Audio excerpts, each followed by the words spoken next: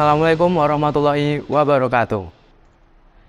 Innal hamdalillah nahmaduhu wa nasta'inuhu wa nastaghfiruh wa na'udzu billahi min sururi anfusina wa min sayyiati a'malina. May yahdihillahu fala mudhillalah wa may yudhlil fala hadiyalah. Asyhadu an la ilaha illallah wa asyhadu anna Muhammadan abduhu wa rasuluhu la nabiyya wa rasula ba'da amma ba'du. Kesyukuran tak henti-hentinya kita panjatkan kepada Allah Subhanahu wa taala yang setiap harinya terus saja melimpahkan kesyukuran, melimpahkan kenikmatan serta karunia-Nya kepada kita semua pada setiap hari-hari kita. Sehingga malulah kita apabila kita tetap mengkufuri nikmatnya dan enggan bersyukur serta memohon ampun kepadanya. Salawat serta salam semoga selalu tercurah pada baginda Nabi Agung Muhammad Sallallahu Alaihi Wasallam, keluarganya, para sahabat, yang yang kita nanti-nantikan syafaatnya di yaumil akhir kelak. Perkenankanlah, saya Zaki Al-Haidar, santri kelas 9 Pondok Pesantren Modern Baitus Salam yang akan mengisi kultum pada kesempatan kali ini. Teman-teman sekalian yang dirahmati Allah Subhanahu wa taala. Rasulullah Shallallahu alaihi wasallam pernah berkata dalam sabdanya, "Asyamu nisfu sabri wa ala kulli syai'in zakatun wa zakatul jasadi asyam. Puasa itu merupakan setengah dari kesabaran dan segala sesuatu itu ada pembersihnya. Dan pembersih dari tubuh manusia adalah dengan berpuasa. Dari hadis tersebut kita dapat menyimpulkan bahwa Ramadan mengajarkan kita akan kesabaran. Bagaimana kita dilatih untuk menahan lapar dan dahaga dari fajar hingga terbenamnya matahari. Ramadan juga mengajarkan kita untuk menahan diri dari segala perbuatan maksiat sehingga kita terhindar dari berbagai perbuatan maksiat.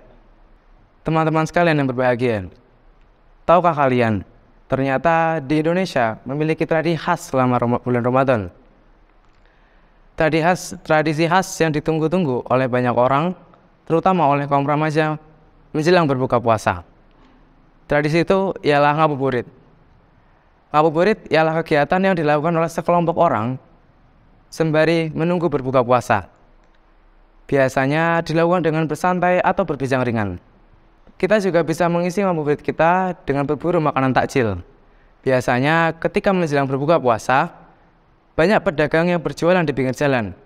Mereka menyajikan berbagai makanan yang bisa kita pilih untuk berbuka puasa. Namun alangkah lebih baiknya jika kita mengisi ngabuburit kita dengan hal yang lebih positif dan juga bermanfaat. Seperti tilawah Al-Quran, mengikuti kajian, atau belajar ilmu agama yang tentunya menambah bobot amalan kebaikan kita selama bulan Ramadan. Bagi orang-orang muslim, berpuasa dalam di bulan suci Ramadan dengan keikhlasan dan kekhusyuan memiliki hikmah serta fungsi dalam kehidupan sehari-hari. Adapun hikmah dan fungsi dalam kehidupan sehari-hari antara lain yang pertama untuk upaya melebih mendekatkan diri kepada Allah Subhanahu wa taala. Karena ibadah puasa merupakan ibadah yang apabila kita mengerjakannya, maka kita termasuk orang-orang yang bertakwa. Yang kedua, ialah upaya untuk melatih kejujuran, kedisiplinan, dan juga percaya diri. Sebab dengan berpuasa, manusia dilatih untuk menahan diri dari segala hal yang membatalkan puasa, sehingga akan timbul sikap disiplin, jujur, dan juga percaya diri.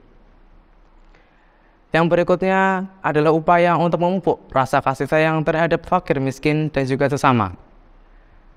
Karena orang yang berpuasa, hendaklah disempurnakan puasanya dengan zakat fitrah. Hal ini merupakan upaya untuk memupuk rasa kasih sayang terhadap fakir miskin dan juga sesama. Dan yang terpenting dalam menjalankan ibadah puasa di bulan Ramadan adalah melaksanakannya dengan penuh keikhlasan, kesyukuran, kehusyuan, dan juga mohon ampun kepadanya. Mungkin demikianlah yang bisa saya sampaikan pada kesempatan kali ini. Semoga kita dapat mengambil manfaat dari kultum pada kesempatan kali ini. Kurang lebihnya saya mohon maaf. Bila taufik wal hidayah. Wassalamualaikum warahmatullahi wabarakatuh.